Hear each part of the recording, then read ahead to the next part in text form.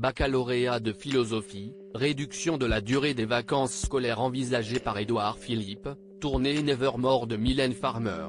Arnaud Demanche était très inspiré pour sa chronique quotidienne dans l'émission d'Apolline de Malherbe sur RMC Story ce mercredi 14 juin.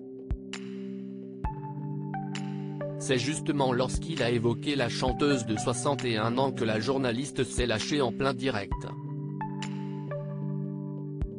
On connaît tous les paroles de Mylène Farmer par cœur, sans contrefaçon, je suis un garçon. Le chroniqueur a ensuite entonné en chœur avec la présentatrice Je, je suis libertine, je suis une catin, tube incontournable de Mylène Farmer. On va faire un article avec en titre Apolline dérape en direct, elle dit le mot catin, a alors ironisé Arnaud Demanche. Ce n'est pas la première fois que l'humoriste provoque une crise de rire à l'antenne de RMC.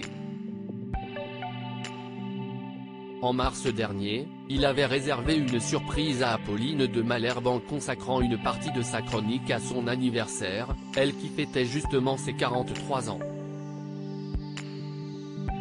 Arnaud Demanche avait ainsi félicité sa comparse en charge des interviews politiques de la matinale pour ses 36 ans en soulignant qu'elle grandit vite et lui avait annoncé son cadeau, cette semaine vous deviez recevoir Stanislas Guérini, on a milité auprès de la direction, on l'a remplacé par Bradley Cooper. Supérieur à supérieur à Léa Salamé, Pascal Pro, Anne-Sophie Lapix. Découvrez les journalistes quand ils étaient plus jeunes et Apolline Matin, un cocktail entre bonne humeur et information avec une telle bonne humeur sur son plateau, pas étonnant que l'émission Apolline Matin vienne de signer ses meilleures audiences depuis deux ans, désormais suivie par 1,5 million d'auditeurs chaque jour plus 10% en un an. Notre matinale est celle des préoccupations des Français. Nous ne sommes pas là pour leur dire ce qu'il faut penser. Je crois que ce cocktail entre bonne humeur et information sérieuse rend heureux nos auditeurs, a analysé Apolline de Malherbe dans une interview consacrée à Gala. FR. Et d'ajouter, cela m'autorise surtout à être encore plus moi-même.